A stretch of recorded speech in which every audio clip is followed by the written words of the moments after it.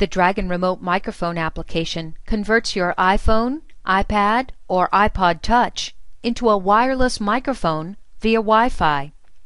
With the free Dragon Remote Microphone application available from the Apple App Store, you can achieve the same great Dragon experience without the headset wires. Follow these fast and easy steps to set up the Dragon Remote Mic app with your copy of Dragon. Launch Dragon Naturally Speaking on your PC. On the Profile menu of the Dragon bar, select Add Dictation Source to Current User Profile. By adding a new source instead of creating an entirely new profile, you can leverage your customized vocabulary for the best accuracy regardless of which microphone you happen to be using. Select the Dragon Remote Mic app option from the drop-down menu in the new Dictation Source window and then click OK. Dragon then opens a general training window for your new audio input source. To complete general training, you need to be sure that your mobile device can communicate with your PC, most often using a common application called Bonjour. If you have not already downloaded and installed the Dragon Remote Microphone app from the Apple App Store, you can do so now. Note that your PC and your mobile device must establish a wireless connection to the same local area network before you launch the Dragon Remote Microphone app.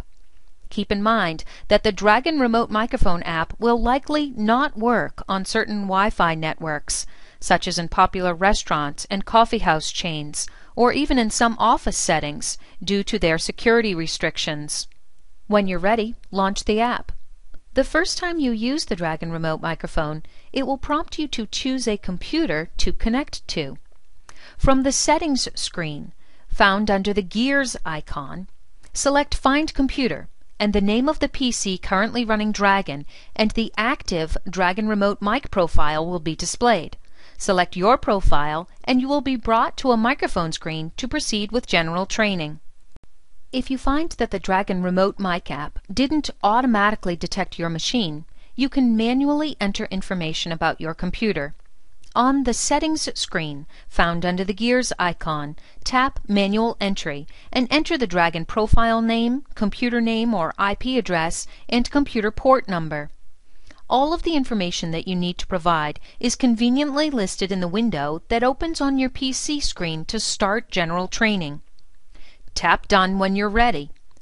With your mobile device now connected to your PC, continue with general training, where you'll read a story for about five minutes so that Dragon can adapt its general model to your individual voice.